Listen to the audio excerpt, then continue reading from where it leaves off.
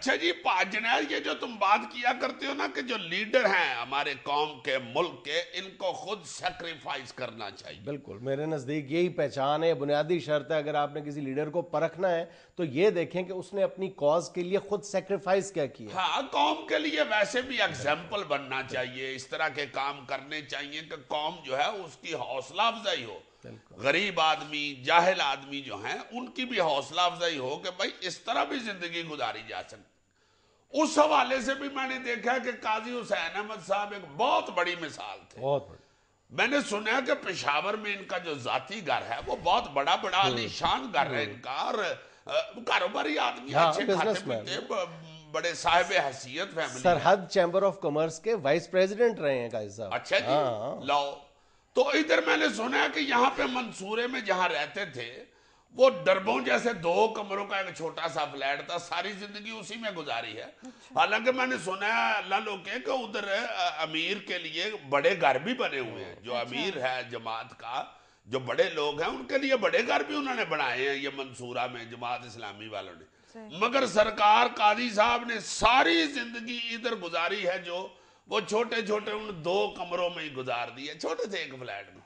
नहीं रहे जाके बड़े घर में, सब लोग कहते रहे तो उन्होंने कहा, नहीं, जहाँ मैं बिल्कुल ठीक हूँ, मुझे कोई ज़रूरत नहीं है इससे बड़े घर की, बस ठीक है फ़र्स्ट क्लास रह रहा हूँ। मुझसे अगर कोई पूछे ना कि काजी हुसैन अहमद की शख्सियत का सबसे खूबसूरत पहलू तुम्हें कौन सा लगता था तो मेरे मुँह से बरजुस्ता ये निकलेगा कि काजी साहब हंड्रेड परसेंट कॉम्प्लेक्स फ्री इंसान थे।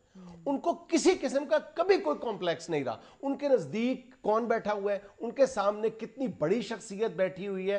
वो इस बात का कभी ख्याल नहीं करते थे। अपनी बात दो टोक अंदाज में करते थे और दूसरे की बात उसी एहतराम के साथ सुनते थे। ये उनकी शख्सियत का सबसे खूबसूरत पहलू और जिस चीज़ की हमारे मुल्क के अंदर इस वक्त शदीद ज़रूरत है, उसका वो सरापा, वो तस्वीर थे कादी साहब।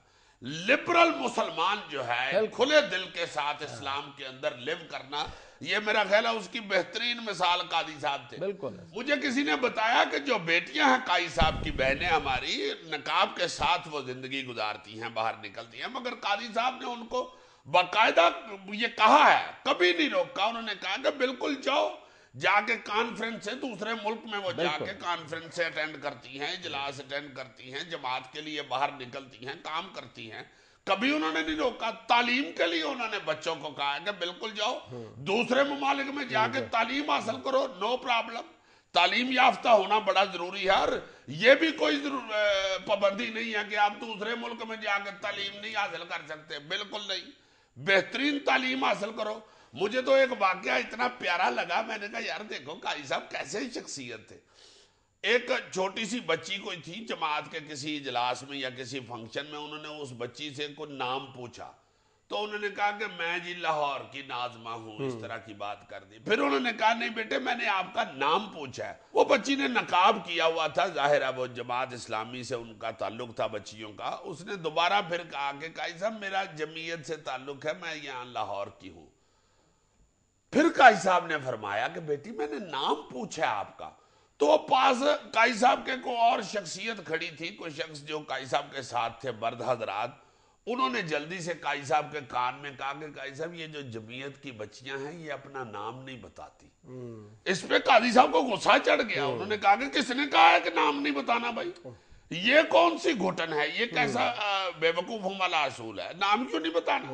मैं इनके बाप जितना हूँ, ये मेरी बच्चियाँ हैं, ये नाम बताने में, औरत के या लड़की के नाम बताने में तो कोई हर्ज नहीं है। इसमें तो कोई पाबंदी नहीं है। किसने कहा आपको कि नाम नहीं? बिल्कुल यार, वो लिबरलिज्म को पूरी तरह कूपविद करना जानते थे कि इसके साथ इसको जमात इस्लामी की सोच के अंदर कैसे समोना है। मतलब वो इसमें मास्टर थे। यार, इमरान खान मतलब इमरान खान और काजी हुसैन अहमद के दरमियान जो मोहब्बत का ताल्लुक था, बिल्कुल एक बाप और बेटे वाला था।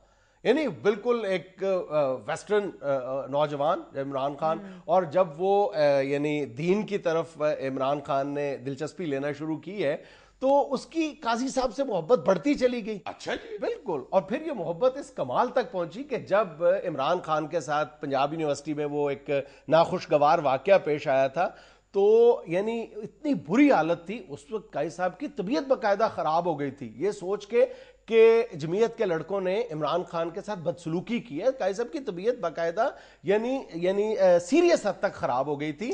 और इमरान खान को जब हवालात के अंदर पता चला कि काई साहब की तबीयत ख़राब हो गई इस वजह से तो उन्होंने अपने बहनोई हफीज़ुल्ला न्याजी को कहा रात डेढ़ बजे कि अभी काजी साहब के पास जाओ और काजी साहब को तसली दो कि जी मेरे दिल में कोई रंज कोई मलाल नहीं है आपके बारे में आपकी जमात के बारे में।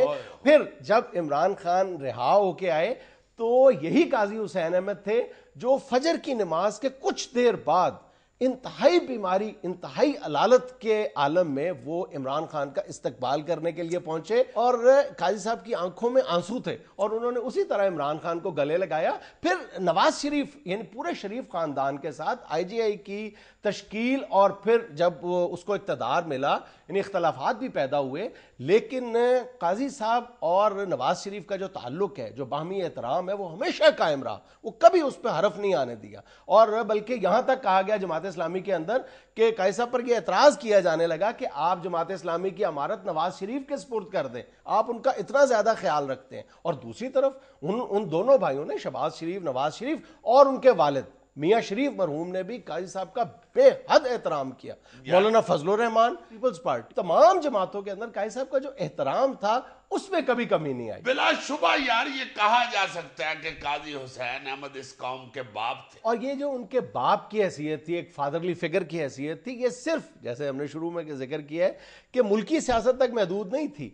आलमी सतह पर और ख़ास तौर पर इस्लामी मुल्कों में उनका इतना ही एहतराम था इस्लामी तहरीकों के नतीजे में जो अभी हुकूमतें वजूद में आई हैं मतलब मिस्र में तुर्की में त्यूनस में मराकश में फ़लस्तीन हमास ये तमाम वो लोग हैं जहाँ जहाँ इस्लामी तहरीकें हैं अब और इस्लामी हुकूमतें हैं ये तमाम लोगों के दरमियान जब कोई मामूली सी रंजश पैदा हो जाती थी तो फौरी तौर पे वो काजी हुसैन अहमद से रबता करते थे हाँ। यानी खालिद मशल जो इतने बड़े लीडर हैं जिनका पिछले दिनों हम टीवी पे देख रहे थे कि लाखों लोगों का इज्तम था और वो एक डेढ़ दिन खड़ा होकर वो लोग जो इतना बड़ा मजमा है, वो खालिद मिशल का इंतज़ार करता रहा। तो खालिद मिशल के जो बुज़ुर्ग थे, उन्होंने तरबियत के लिए खालिद मिशल को पाकिस्तान काजी हुसैन अहमद के पास भेजा था कि दस दिन आप इनके पास रह के आए।